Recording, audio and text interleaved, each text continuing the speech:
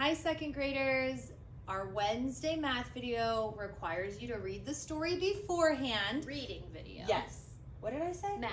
We're not doing math. Oh my gosh, we're doing reading. We're doing reading. Sorry, guys. Our reading video requires you to read the story. You don't have to read a story before you do math.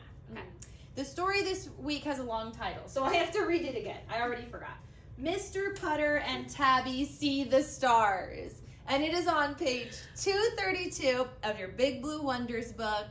So make sure you pause and go read the story for, first and then come back to do this because you won't be able to fill out this entire thing unless you've read the story, okay? Because we're not going to do the whole thing for you. No.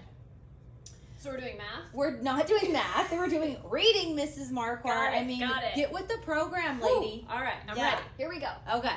So this week we're focusing on sequence of events, the order in which things happen in a story. First, next, then, and last are the transition words we usually use. And we want to start at the beginning of the story. How does the story about Mr. Putter and Tabby begin? So, right at the beginning, we learn that Mr. Putter um, has trouble sleeping and he has a stomach ache because he had ate too many jelly rolls. I right? get it. I've been there. Yeah, I've done that. I have too. Usually at Christmas time when there's too many treats and I just can't Huh? stop eating, or Thanksgiving, or, or. Halloween, or my birthday, or Labor Day, or Yes. Anytime, really. anytime I have too many snacks, my stomach starts to hurt, just like Mr. Putter in our story. yes. So Mr. Putter has a stomach ache because he ate too many jelly rolls.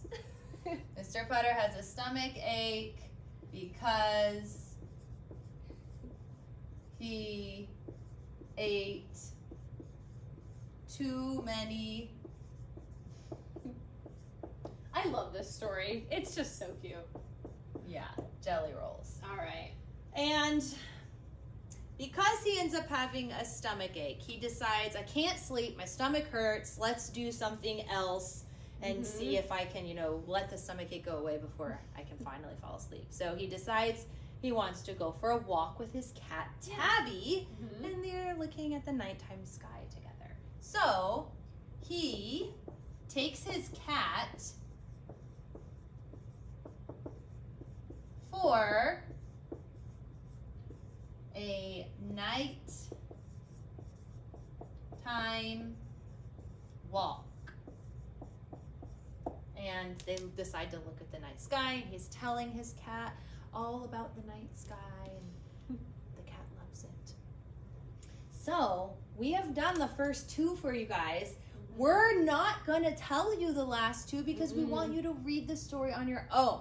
And you have this book. So, if you need to go back and maybe start at the spot where he takes his cat for a walk and he's telling him about the sky, go ahead and do that. Start there and then look through the rest of the story so that you can tell us what happens after that and then what's the last, the end, final thing that happens in the story. And you guys can write a sentence for each of these blank boxes.